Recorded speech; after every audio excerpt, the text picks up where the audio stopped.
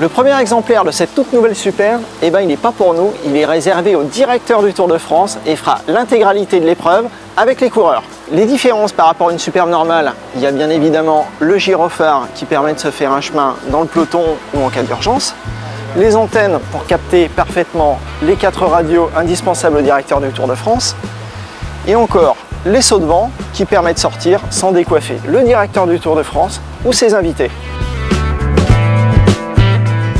Une des petites nouveautés sur la déco de cette Skoda du Tour de France, ce sont ces initiales HD qui sont celles d'Henri Desgranges, qui est le fondateur du Tour de France. C'est un petit détail qui a son importance. Vous avez toujours rêvé d'être à la place de Christian Prudhomme, le directeur du Tour de France. Donc voici en fait dans son bureau, vous avez les radios du Tour, alors ce qui est évidemment spécifique, avec quatre canaux de radio dans la fameuse radio du Tour et trois autres qui sont réservés pour le Tour de France et pour la direction de course. Il y a une petite surprise aussi pour nos amis invités qui sont toujours avec le directeur du Tour de France. C'est ce petit réfrigérateur qui abrite un mini-bar et qui propose une bouteille de champagne à consommer avec modération.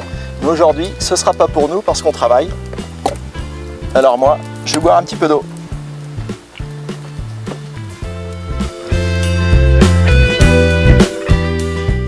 Et aujourd'hui, on a de la chance parce que son heureux propriétaire, Christian Prudhomme, il nous a prêté les clés de son petit joujou. Alors moi, je vous invite à faire un petit tour dans Paris avec.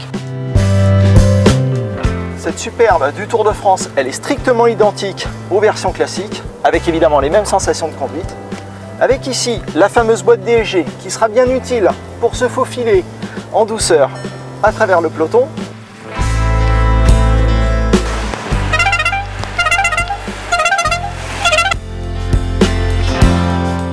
Comme toujours sur une Skoda Superbe, la meilleure place elle est toujours à l'arrière. Et franchement cette version du directeur du Tour de France, moi je la prendrais bien comme bureau personnel pour aller me promener.